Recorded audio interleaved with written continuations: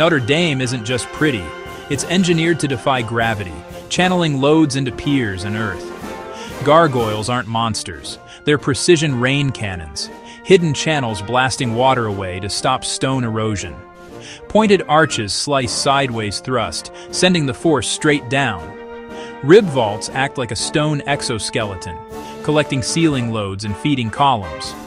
Outside, flying buttresses catch that outward shove, closing the structural loop. This web lets the nave soar, bigger windows, slimmer walls. Above, a medieval oak forest carried a lead roof. The stone? Lutetia limestone, fossil-rich, compression-strong. Perfect for arches and vaults. Rose windows spread weight through tracery.